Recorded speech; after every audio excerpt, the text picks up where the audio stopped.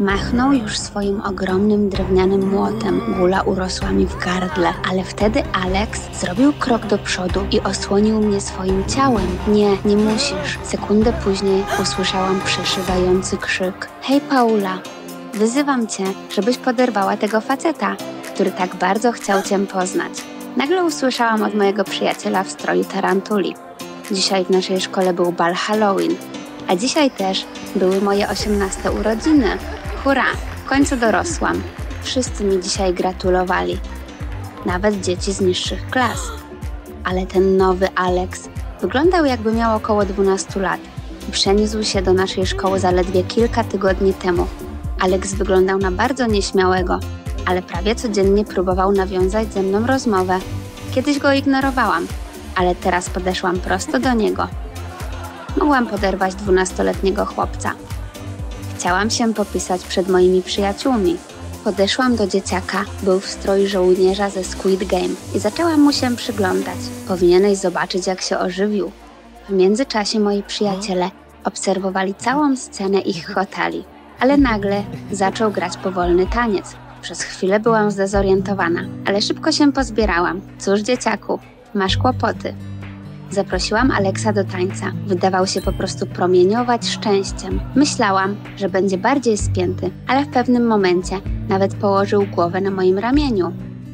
Wow, mój nowy facet? Kiedy tańczyliśmy, postanowiłam wypytać go więcej o wszystko, bo tak naprawdę nic o nim nie wiedziałam. I nagle okazało się, że Alex też został adoptowany. Dobrze, dobrze. Niewiele osób w szkole wiedziało, że zostałam adoptowana, gdy miałam około 6 lat. Wygląda na to, że moi przyjaciele zauważyli, że coś jest na rzeczy. Od razu przypomniałam sobie naszą umowę. Chodźmy do szafy, powiedziałam Aleksowi. Zatańczymy tam. Alex wydawał się trochę spięty, ale zgodził się. Spokojnie weszliśmy do szafy, tuż pod nosem moich znajomych z klasy i byłam po prostu zachwycona. Tak, mogę poderwać każdego na tej imprezie. Co, myśleli, że wycofam się z obietnicy? W szafie Alex i ja nadal tańczyliśmy, ale jego nastrój wyraźnie się zmienił. Wciąż patrzył mi w oczy, a potem odwracał wzrok. Czy coś jest nie tak? Zapytałam z uśmiechem. Myślałam, że może martwi się tańczeniem ze starszą dziewczyną, ale to, co powiedział później, po prostu nie mieściło mi się w głowie. Zostań moim opiekunem, masz już 18 lat. Alex nagle wypalił. Co? Szybko wymamrotał, że nie ma czasu na wyjaśnienia. Byłam w szoku. Czy ten dzieciak postradał zmysły? Nie wiedziałam, co na to odpowiedzieć. Ale nagle muzyka w głównym holu ucichła. Usłyszeliśmy jakiś hałas i pobiegliśmy zobaczyć, co się tam dzieje. W auli powstało zamieszanie. Nagle zobaczyłam policję. Przez chwilę wydawało mi się, że to tylko faceci w kostiumach na Halloween, ale nie. To byli prawdziwi gliniarze. Alex nerwowo odsunął się gdzieś na bok. Nic nie rozumiałam. Patrzyłam, jak gliniarze podchodzą do innych uczniów i pokazują im zdjęcie Alexa. Powiedzieli, że chłopiec niedawno zniknął z sierocińca, a teraz prowadzą śledztwo. Czy to był jakiś żart? Słyszałam, jak dzieci z klasy Alexa szepczą, że Alex jest rzekomo prześladowany przez swojego szalonego ojca, który chciał odzyskać swoje prawa rodzicielskie. Nie, to było za wiele. Gdzie jest ten chłopak? Muszę go wypytać o wiele rzeczy. Popędziłam w kierunku, w którym odszedł Alex, ale wtedy światła zgasły w całym korytarzu. Zamieszanie tylko się nasiliło. W ciemności ciągle wpadałam na innych uczniów, a ktoś nawet zaczął krzyczeć. Tak, to prawdziwy bal Halloween. Kątem oka widziałam policjantów z latarkami, zbliżających się do wszystkich facetów w kostiumach ze Squid Game. Zatrzymałam się i patrzyłam z tonącym sercem, jak jeden z nich ściąga maskę z Alexa, ale pod maską był inny chłopak. Odetchnęłam z ulgą. Ale gdzie był Alex? Próbowałam go znaleźć, ale na próżno. Prawdopodobnie był już gdzieś daleko. Po 15 minutach policja poprosiła wszystkich o opuszczenie pokoju. Stojąc w ogromnym ścisku przy wyjściu, nie mogłam przestać myśleć o jednym. Dlaczego Alex chciał, żebym została jego opiekunem? Ta myśl nie opuściła mnie nawet przez całą drogę do domu.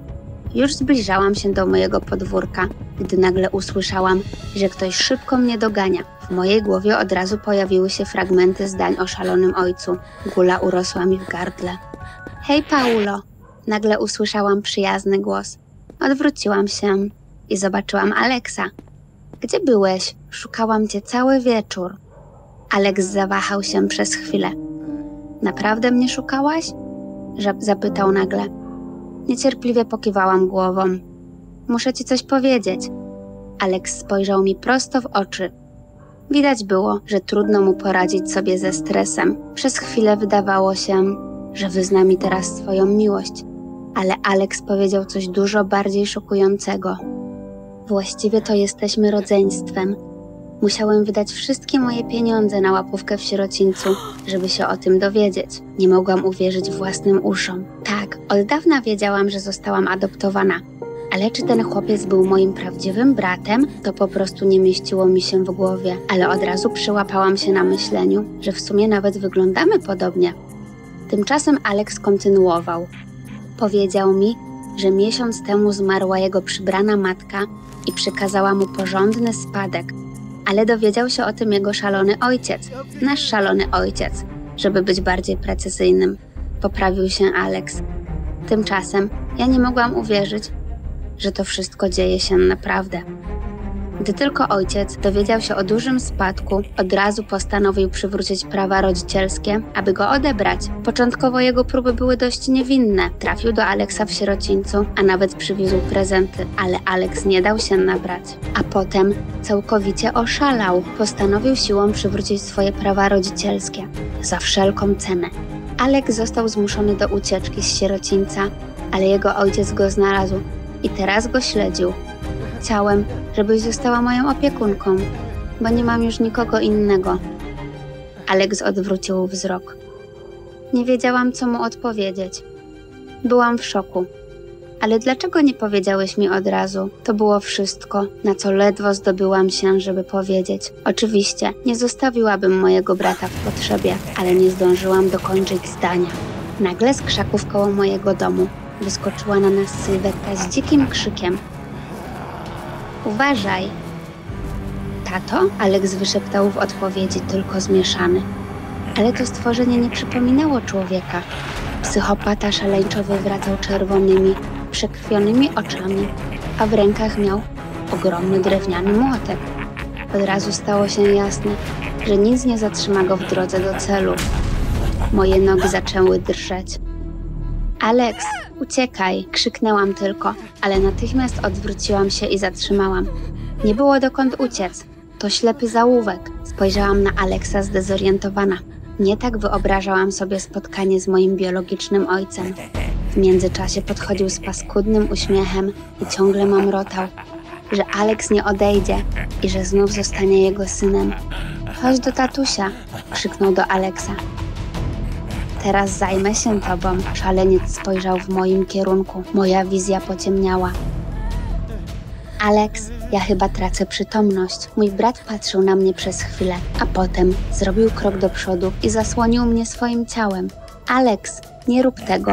Psychopatyczny ojciec już wymachiwał swoim ogromnym młotem. Zamknęłam oczy, ale nagle usłyszałam przeszywający krzyk. To nie Alex krzyczał, ale nasz ojciec. Otworzyłam oczy i zobaczyłam kilku gliniarzy, jednocześnie chwytających tego szaleńca. Byłam kompletnie zdezorientowana i nie mogłam przestać się trząść. Z wahaniem objęłam ramieniem Aleksa. Wtedy podszedł do nas jeden z policjantów. Okazało się, że gliniarze szli za nami po szkole, bo od razu zauważyli, że coś jest nie tak, ale nie mogli natychmiast zatrzymać ojca. Musieli czekać, aż zaatakuje, żeby sąd miał niezbite dowody jego winy. Policjant przeprosił za to, że musieliśmy przez to wszystko przejść. Teraz nasz ojciec nie był już dla nikogo zagrożeniem. Kiedy zabrano naszego szalonego ojca, Alex spojrzał na mnie i wymamrotał: Dziękuję. To ja ci dziękuję. Odszepnęłam. Ile zajęło mi opamiętanie się po wydarzeniach tamtego dnia i często w koszmarach widywałam rękę z ogromnym drewnianym młotkiem, ale wkrótce wszystko się poprawiło. Pewnego słonecznego sobotniego poranka, jak zwykle zeszłam do kuchni na śniadanie. Mamo, tato, dzień dobry. Przywitałam się jak zwykle. Tak, wiem, że są to rodzice adopcyjni, ale są najlepsi na całym świecie. I też dlatego, że Po tym wszystkim zaadoptowali również Aleksa. Tobie też dzień dobry, braciszku, powiedziałam do niego radośnie. Oczywiście wszystko było bardzo trudne, ale cieszę się z takiego zwrotu losu, bo dzięki niemu dostałam nie tylko najfajniejszego i najodważniejszego brata, ale też kilka milionów dolarów, które Alex zaoferował, żeby podzielić w braterski sposób. Cokolwiek powiesz, braciszku. Podobał Ci się film? Polub i zasubskrybuj. Wspieraj nasz kanał. Dziękuję Ci. Cześć wszystkim! Jestem Sandra i mam 19 lat. Czy kiedykolwiek ludzie, których nie lubisz, się w tobie zakochali? To straszne i szczególnie obrzydliwe jest to, gdy odrzucony kochanek zaczyna się wtedy mścić, a ty nie możesz nic z tym zrobić. Obejrzyj mój filmik do końca, a dowiesz się, jak moja rodzina prawie została wyrzucona z domu, a ja prawie zostałam wyrzucona ze studiów z powodu jednego głupiego żartu. Powinnaś wiedzieć, że jestem raczej spokojną i cichą myszką. Jestem na psychologii. Moi rodzice są niewiarygodnie skąpi, liczą każdego centa. I mam przyjaciółkę Lary, która jest szaloną imprezowiczką i chce mnie zaciągnąć do pracy na obozie dla dzieci. Właściwie to był dobry pomysł, ponieważ potrzebowałam pieniędzy, aby spłacić moich rodziców i odzyskać moje czesne. Ale był pewien problem. Musiałam dostać referencję od profesora Antonina, który był. Och. Po pierwsze, ma straszny temperament. Po drugie, nienawidzi mojej grupy, bo kiedyś zrobili jego parodię na Halloween. A do tego mam na to tylko dwa tygodnie, bo później nie zostanę już zabrana na obóz. Zrobisz z tym, co zechcesz, Sandra. Poza tym, wiesz co, spóźniłyśmy się na jego ostatnie zajęcia. Nie spóźniłabym się, gdybym była sama, ale Lary odłożyła zadanie na ostatni dzień. Potem poprosiła mnie po pomoc i skończyło się na tym, że spędziłyśmy na tym całą noc. No i oczywiście zaspałyśmy. Profesor Antonin odmówił wpuszczenia nas do środka i zaznaczył nas na nieobecność. Czy kiedykolwiek zostaliście niesprawiedliwie ukarani przez waszych nauczycieli? Myślę, że każdy tego doświadczył, ale byłam na nią wściekła. Dlaczego po prostu nie wykonała zadania na czas? Powiedziała, że może rozwiązać problem i po zajęciach weszła do jego biura. Miałam nadzieję, że Lara odniesie sukces. Była piękna i czarująca, a nauczyciele płci męskiej ją kochali. Ale nie, została wyrzucona i nawet zagroził, że w ogóle nie przyjmie naszych zadań. Dobre pytanie. Co powinnyśmy teraz zrobić? Nagle Lara mnie przytuliła i powiedziała naprawdę szaloną rzecz. Hej, Sandra, zauważyłaś, jak on na ciebie patrzy? To znaczy, tak, Lara, widziałam, jak na mnie patrzył, jak na wcielenie czystego zła u niewinnej owieczki. Nie, ty nie rozumiesz. Podobasz mu się. Co? To było niemożliwe.